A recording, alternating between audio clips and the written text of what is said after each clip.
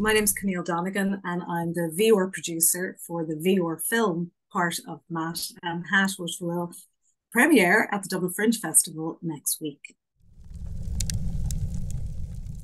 Having come from a theatre and tech background, parallel careers in both, I instantly saw the power of this medium and I felt what my character that I was embodying was feeling.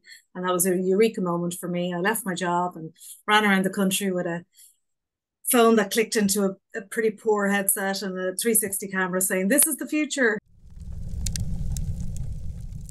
We had a wonderful development process where we worked with a dramaturg, Hannah Slatna, to really tease out the wider story or the deeper story around Matt and Hat, which is based on real events from Matt's own life. And we took real photographs as impotence for the environments and the, the bedroom environment um, has been brought to life in both a physical set and in the virtual world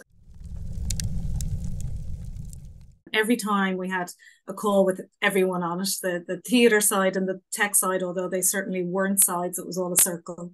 Um, the ideas would just bounce, bounce, bounce. And we've had Jeddah Debris come on board as user experience uh, director, and that has been phenomenal because she's been able to bring all of that to another place entirely. And there will be an interactive element at the start of the show before you go into the virtual reality film, which we're very excited to show audiences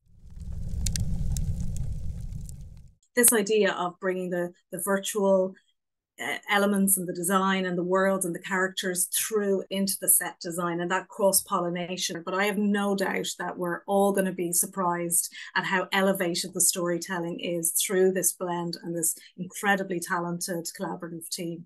Very excited for you to come and see Matt and Hat at the Dublin Fringe Festival.